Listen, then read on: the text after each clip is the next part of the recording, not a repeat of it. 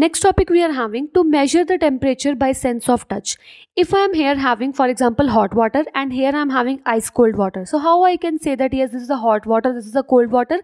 Obviously by putting my fingers into the water I will say that yes this is a hot water this is cold water okay. So how we are doing this? See carefully. For example, here I am having hot water and I put my finger into the hot water. So what I will say after putting into the hot water, I will say that yes, this water is hot. Obviously this water is hot. But yes, when I will take this hot water into a lukewarm water. Lukewarm water means that water which is not too much hot this is not too much cold. So in that case you will say that yes this water is cold water. Why? Because in comparison when you will say that actually this water is hot.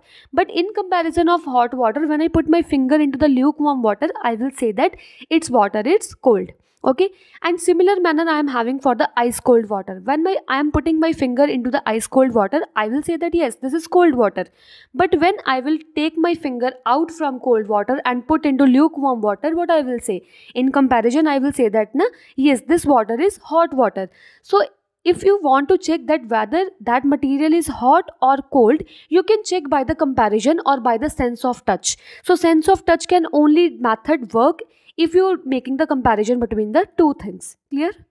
But this sense of touch cannot work properly at each and every case. If the water is too much boiling, for example at 100 degrees Celsius that water is boiling, then you, you will take your finger and you will put into the water. Obviously no. In that case we have to choose some kind of apparatus in order to check the temperature.